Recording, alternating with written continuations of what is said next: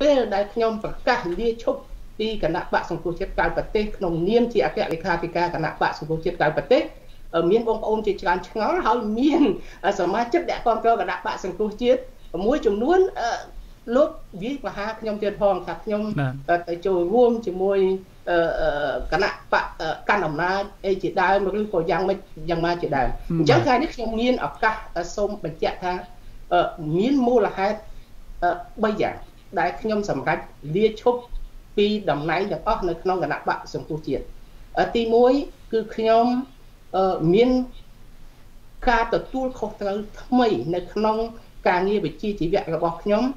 ដោយសារនៅក្នុងខែ2ឆ្នាំ2020ស្ថាប័នដែលខ្ញុំធ្វើការបម្រើសប្តាហ៍ថ្ងៃនេះគឺបានឲ្យខ្ញុំកាន់តួនាទីជានាយកនៃស្ថាបនៃ នាយកដ្ឋានមួយដែលខ្ញុំមានការងារច្រើនត្រូវបំពេញទី2ខ្ញុំយល់ថានយោបាយនៅក្នុងប្រទេសកម្ពុជាតម្រូវឲ្យមានការចូលរួមទាំងអស់គ្នាពីគ្រប់មជ្ឈដ្ឋានទាំងអស់ពីគ្រប់អ្នកប្រជាធិបតេយ្យហើយដើម្បីធ្វើដូច្នោះបាន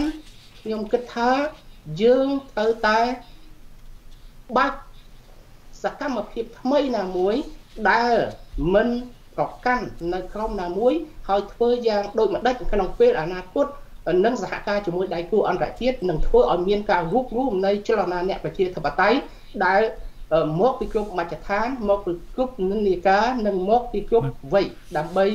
អាចមានកម្លាំងដ៏ធំមួយនៅក្នុងការស្ដារលទ្ធិប្រជាធិបតេយ្យនៅក្នុងប្រទេសកម្ពុជា។